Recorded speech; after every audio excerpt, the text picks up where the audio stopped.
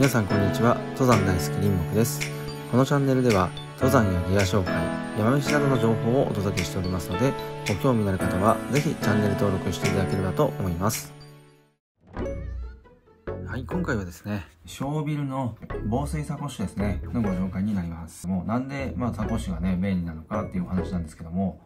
え、やっぱりね、必要なものをね、えー、ザックの中にしまい込んでしまうとですね、その都度ザック下ろして、えー、蓋開けてですね、取り出してまた中にしまってまた背負い直してっていう作業がね、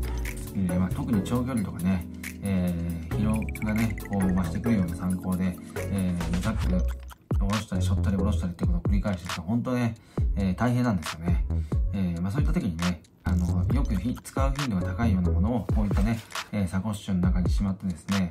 え傾向することによってこうすぐにね必要なものにアクセスできる、えっていうところで、えサコッシュはねえ登山でとってもね便利な、えー、ギアになります。で、え、今回ね、え、このショービルのね、えサコッシュを選んだ理由なんですけどもまずはその防水性っていうことですね、えこの止水ファスナー、えメインのねあのポケットにはこの止水ファスナーが使われてるんで雨が降ってもね中のものが揺れないっていうこれがね非常にポイントになるであとはねやっぱりこのこのデザインというか、まあ、傾向性ですよね、まあ、今まであのミステリーランチのビッグボップっていうねあのサコッシ使ってたんですけども幅が結構広くてですねあの傾向した時にちょっとねやっぱりこう取り回しづらかったりというところがあったのでデザインはねすごく気に入ったんですけどやっぱりあの使用感っていう部分であの少し改善が必要だなということで今回ねこちらのショービルを選びました。で、えー、サイズ感ですけど、えー、縦えー、22センチ横が26センチマチが2センチというサイズ感になってます。で重さはですねこのストラップ込みで 127g という、ま、非常にね軽量なサコッシュになってますね。ポケットなんですけど、えー、全部で3つついてます。まずこのフロントのポケット。でこの前のポケット。でここが、えー、メインの止水ファスナー付きの、えー、メインのね先端ポケット。で背面に、えマグネット付きのねチャックが付いた、えポケットが付いています。でこのフロントと背面はえー、まあ、防水機能がありませんので、えー、雨が降ってきたらね、この中のものは濡れちゃいますね。えー、濡れたら困るものは、このセンターポケットの中にね、しまうようにするようになっています。で、センターポケットですけど、えー、中にですね、えメッシュのね、ポケット、これ2つに区切られていて、えー大きいメッシュポケットと、えー、これと小さいね、メッシュポケット2つついてます。で、ここでなんかね、ちょっと仕切りで、えー、物をね、こう、収納し、わあの仕分けしたりすることができるようになってますね。で、えー、メインセンターのね、えー、大容量のポケットが2つあります。でそしてね、えー、キーチェーン、なくさないようにね、え、キーチェーンがついてます。はい、仕様としてはこんな感じですね。でチャックは、え、まあこうね、スリップしにくいような、え、こう凹凸感がね、ある。まあ、よくあの、レインウェアなんかでもね、使われてますけど、まあ、こういったね、えー、グリップしやすいね、ファスナー、ストラップがついています。で、えー、ファスナーストラップは、えー、両方ともね、2つついてまして、えー、左右ね、どちらからでも、あの、開閉できるようになってますね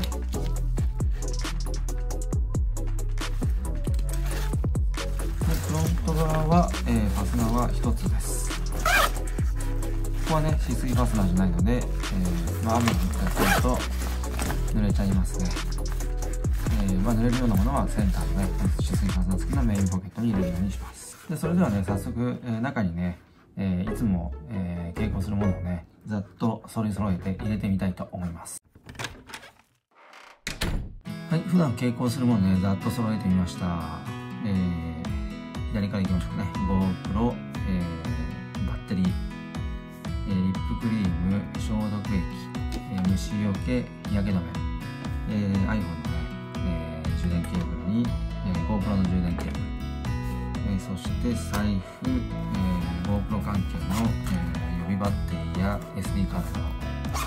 記録媒体ですね。で、えー、温度計方磁石そして、えー、耳栓ですね。で、えー、ティッシュ。最後に、えー、チャンネル公式ステッカー、えー、絶賛発売中です。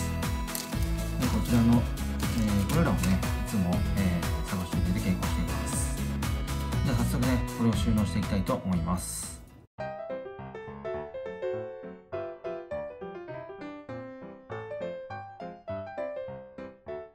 はい、ざっとね、今収納完了しました。今ね、あの撮影してるのがスマホで撮影してるので、まあ、本来であればこのフロントポケットにね、スマートフォン収納します。結構ねどっしり重量感ありますねこれ。えっ、ー、とちょっと測ってみましょうか。さてどのぐらいの重さになりますか。大体 950g ぐらい。でスマートフォン入れるとねえー、まあ、大体 1150g ぐらいになりますかね。これショルダーストラップねついてるんですけどやっぱりあのー、ストラップの幅がね狭いのでこれをね肩に長時間かけてると肩こりやね首こりっていうね、えー、症状が出て、えー、結構ね長時間の参考してると、えー、しんどくなってきたりするんですよね。実際にねこれだけの重量物をサコッシュに入れてですね、え参考するのはちょっとね厳しいかなと思います。なので、えちょっとねここは、えま裏技というかですねちょっとしたその疲労軽減のコツがあるんですよね。カラビナです。カラビナを使ってですね、えー、ザックに固定していきます。このね、えー、D 管を利用してですねまあ、参考にするはね、あのー、肩にストラップかけておく必要がないので、えー、まあ、ザックにねこれをもうサコチ自体を固定しちゃいます。でその際はもうストラップはねいらないので、えこちらも外して、えーザックの中にねしまっておきます。この状態でですね、えー、カラビナを使ってザックにねフロント側のあのショルダーベルトにね、えー、固定していきます。で固定方法はねまた後でご紹介していきます。参考までにですね、まあ、これだけ大容量のサコッシュなので、えー、まあ、登山だけじゃなくてですね普段使いでも十分ね使える仕様になってると思います。ちなみにですね、まあ、普段ですと、まあ、こういった長財布使われてる方ね、えー、いらっしゃると思うんですけども、まあ、こんなね、大きい長財布でも、えー、すっぽりね、中にこう、収納することができますので、あの、普段使いでね、十分使えるかなと思います。はい、ただいまね、ショービルのサコッシュ、ザックに取り付けて、えー、登板中です。これね、今ね、あのーご紹介した通り、カラビナを使ってですね、ザックのの D 管に取り付けてます。両方とも同じようにね、取り付けてます。まあ、これでね、あの、肩にかかる負荷っていうのはね、あの、軽減されて、すごくね、楽に、えー、これ、傾向することできますね。ただ、あの、多少ねこうもも上げの時にサコッシュがこうももに少し干渉するんでこれがねどうしても気になるっていう方はねえー、まあ片方のこの D 管外して、まあ、上にショルダーストラップで持ち上げるようなね感じに、え、ちょっと工夫するようなのが必要ですけどまあ上りは、まあ、走るわけじゃないんでね本当にゆっくり登板していくこと考えればねちょっとこう前後にまっすぐ足出さずに大抵の場合はちょっとこう斜めにねハの字型に足急騰だったりすると開いたりするんでまあそこまでのね干渉が気になるなっていう感じではないですね。まあこれちょっと僕の個人的な印象ですけどね。それよりもやっぱりあのショルダーストラップで肩にかかるね負荷っていうのがもう全くなくなってるんで、まあ、そういう意味ではねすごいストレスフリーであの使いやすいですよね。この位置だとあのアクセスもしやすいですからね、まあ、しかも防水なんであの雨がねざーっと降ってきても、まあ、安心ですしね、まあ、今日も小雨模様ですけど。ただまだそこまで防水機能を試せるほどの雨じゃないんでねあれですけど。まあ実際ね装着してるイメージはこんな感じでとても使いやすいです。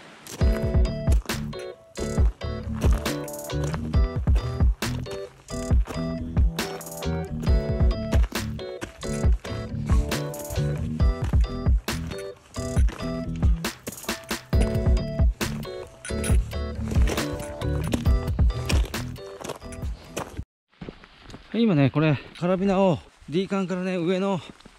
チェストスラップにね、掛け替えてみました。こうすることでね、少し上の方にサコッシュ全体が持ち上がるんで、片側持ち上げるだけで斜め掛けにね、ちょっと若干斜め掛けになるだけで、えー、まあ、ステップ、ハイステップの時のね、こう干渉をね、もう解消できますね。ちょっと左側かかりますけど、まあ、片っぽがね、かからないだけでもかなり登りやすくなると思います。まあ、こんな感じでちょっとね、いろいろと、えー、状況状況で、えー、工夫しながらね、えー、スラップの、えまあ、固定する位置をね、調節すると、えいいんじゃないかと思いますね。はい、いかがだったでしょうか？今回ご紹介したショービルのサコッシュ。登山でねちょっとした小物類を使いやすい形で携行するにはとても便利なギアだと思います。またサコッシュにね必要な防水性や足元の視認性を妨げないなど必要な機能をね備えている点もサコッシュ選びでは重要なポイントでした。これからの参考で大活躍するギアになる予感でワクワクでいっぱいです。それではまた次回の動画でお会いしましょう。バイバイ。